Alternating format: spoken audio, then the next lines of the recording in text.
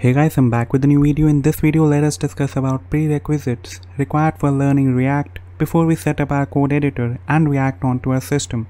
In the previous video, I touched briefly about what is React and why one should learn React. Let us talk about necessary prerequisites that you must have a knowledge of before learning React. You should have a basic knowledge of HTML, CSS and JavaScript HTML and CSS are something that you can easily learn from free resources available on the internet.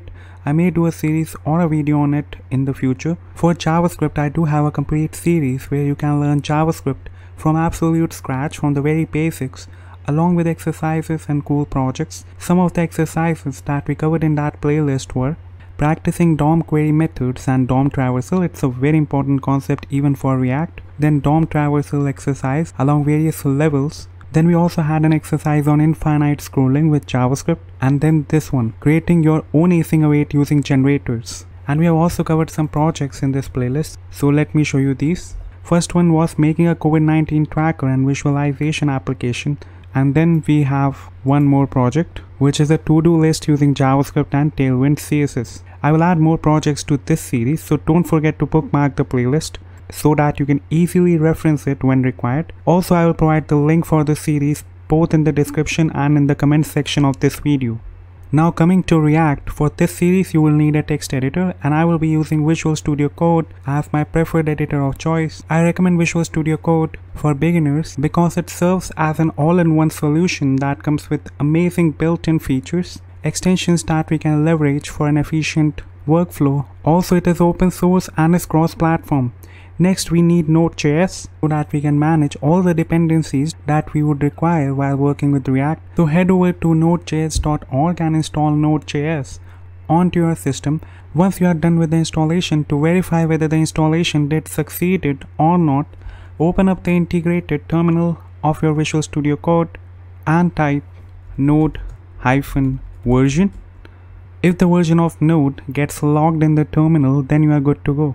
Lastly, let us set up a React project so that we can start to learn about React in the next videos. Though we do have a CDN as well, using which we can include it directly into the HTML file in which we want to use React. But for big projects, we need a more complex build workflow. But before setting up, we need to know why do we need such a complex build workflow and how to get one.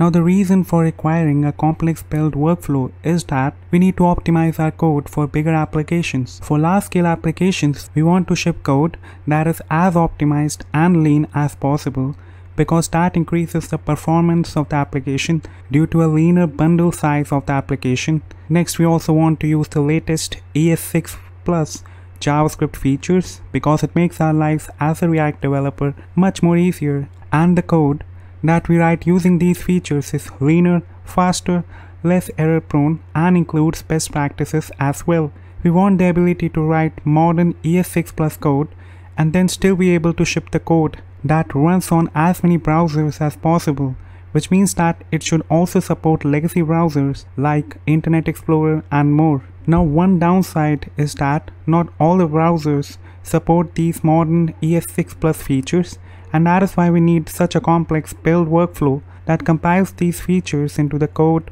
that even the legacy browsers can understand. And for this, transpilers like Babel comes into picture. Now having a complex build workflow makes us more productive.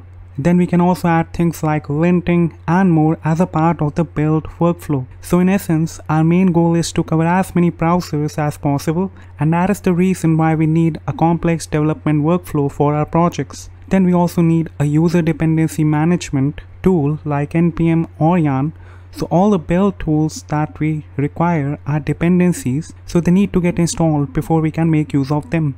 Then next we need a bundler for example webpack to make sure that our code gets bundled in the end into a couple of files before we ship the code into production.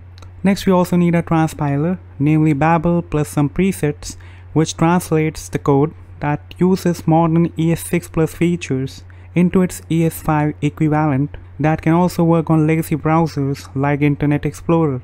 Lastly, we also need a local development server to test our application when it is running on our machine while we are developing features of our application. But setting up this entire configuration is really a pain in the neck. So we will use an amazing tool with zero configuration required to be done from our side and that is create react app for developing our applications. So now we already have Node.js installed onto our system. Let us search for create react app. So create react app. Click on this GitHub link and right here you can see the command for setting up a new react project so we can make use of npx create react app the name of your app then you can cd into that and you can start the app so you can see it says if you have previously installed create react app globally via npm install hyphen g create react app they recommend you to uninstall the package using this to ensure that npx always uses the latest version okay so we will be making use of npx and I won't be installing create react app globally.